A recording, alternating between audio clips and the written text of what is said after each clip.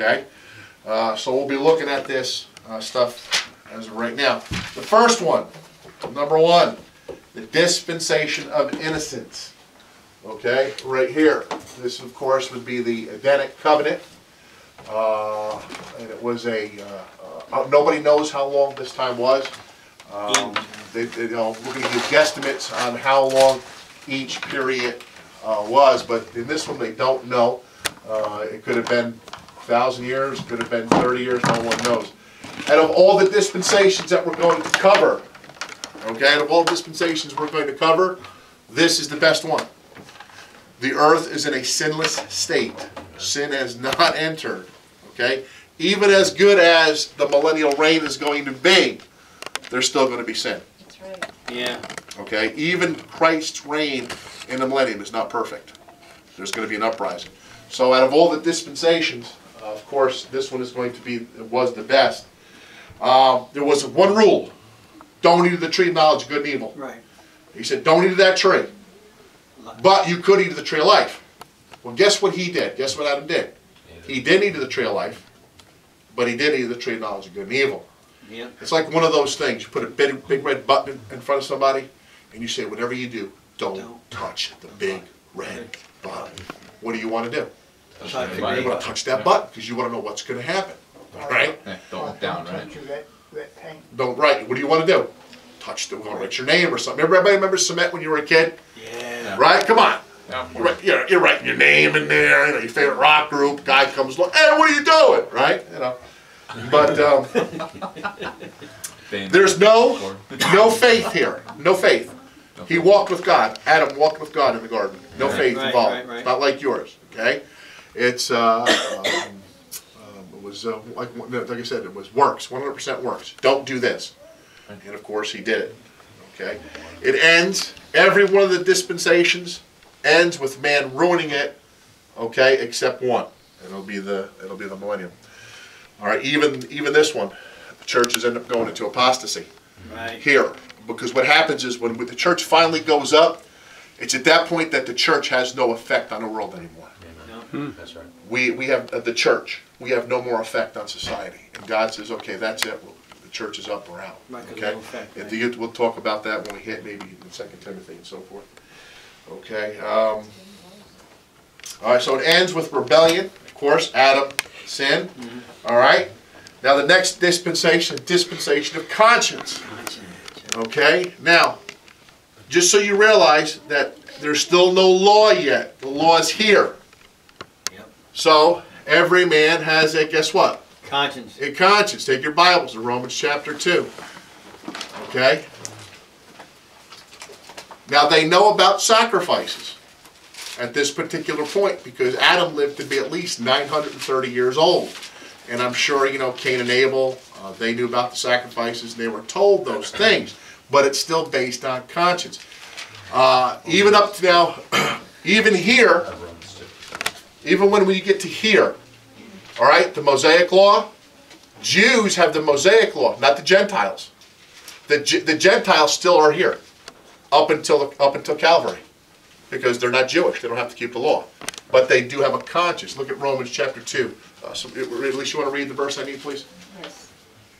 For when the Gentiles which have not the law do by nature the things contained in the law, these having not the law are law unto themselves, which shew the work of the law written in their hearts, their conscience also bearing witness in their thoughts, the meanwhile accusing and excusing one another. Okay, so they have the law. They have uh, uh, uh, uh, the, their conscience, and uh, that's what God judged a man by uh, over here. So it's a little different. It's a little different at this point. Adam realizes. Look at Genesis chapter three, verse ten. He realizes something about himself now. He realizes he realizes shame, guilt. Um, he never knew that before. He's naked, fear. These are experiences that he never had up until up until the fall. Uh, I mean, everybody has shame. Well, not in America. Um, but uh, you remember the first time you did something wrong? Maybe you uh, uh, stole your first piece of candy or your, your first little cigarette. You hid yourself, right? So because you didn't want mom and dad to see, uh, you know, shame. And uh, so this this is where all this stuff came in. Genesis chapter three. Like we're gonna go around the room here. Verse ten.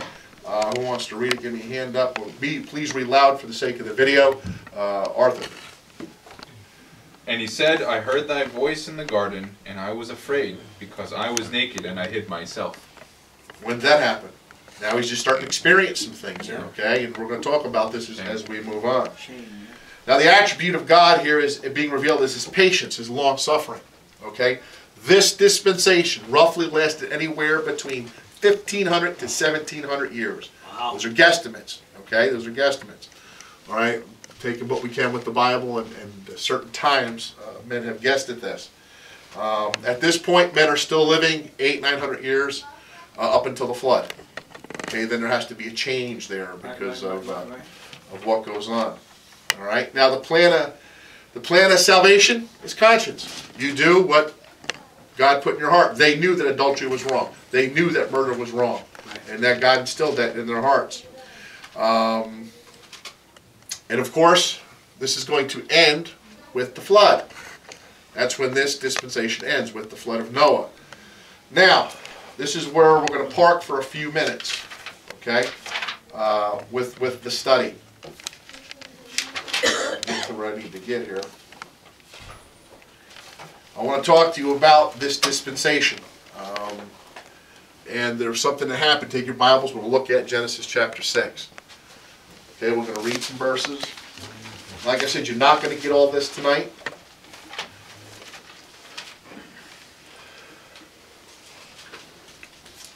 Genesis chapter 6, we're going to read verse 1.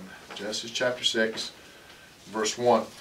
It says, It came to pass when men began to multiply on the face of the earth, and daughters were born unto them, that the sons of God, and that's basically what we're going to look at today, who are these sons of God? Excuse me, so that the daughters of men that were fair, and they took them wives of all which they chose. And the Lord said, My spirit shall not always strive with man, for he is also flesh, and yet his days shall be a hundred and twenty years. Wow. There were giants in the earth in those days, and also after that, so they weren't wiped out in the flood. Not all of them, because guess that we guess who ends up fighting David? Goliath. Goliath. Giant. So not everybody was wiped out in the flood. Okay. Four brothers. Yep. And when the sons and when the sons of God came in unto the daughters of men and bare children to them, that the same became mighty men which were of old men of renown. And God saw that the wickedness of man was great in the earth, and that every imagination of the thought of his heart was only evil continually. And repented the Lord that he had made man on the earth, and it grieved him at his heart. And the Lord said, I will destroy man whom I have created from the face of the earth, both man and beast, and the creeping thing, and the fowls of the air, for it repenteth me that I have made them. Wow. But Noah found grace in the eyes of the Lord.